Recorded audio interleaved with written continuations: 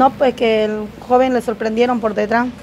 Ya el momento de que agarraron, lo apuntaron, como lo apuntaron y paró, ¿no?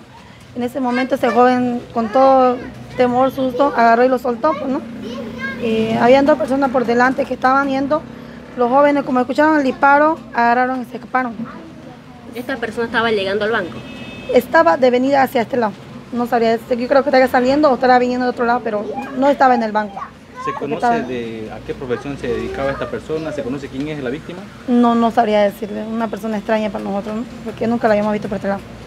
Eh, lo único, como le digo, lo que yo llegué a ver es que el joven estaba viniendo, todo como toda persona tranquilo, por detrás y lo sorprendieron de atrás.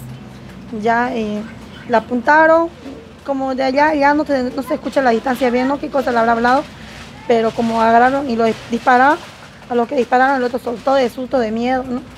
Él traía un maletín. Una bolsa era. En esa bolsa venía el dinero. Supongo que sí, ¿no? Eso. Ellos entonces hicieron un disparo al aire. Y un, de- un disparo al aire. En eso él soltó. En eso soltó él, como toda persona con todo miedo. ¿Qué pasó soltado. después de eso? Después de eso el señor quedó quieto, ¿no? De ahí medio este, con ganas de... Quedó para- paralítico. De ahí agarró, ya después de rato reaccionó, empezó a llamar, a llamar de susto, de miedo. ¿Escuchó cuánto dinero tenía en la bolsa? Dicen que es alrededor, de- no sé la verdad el monto correcto, pero algo de 35 mil, escuché decir rumores.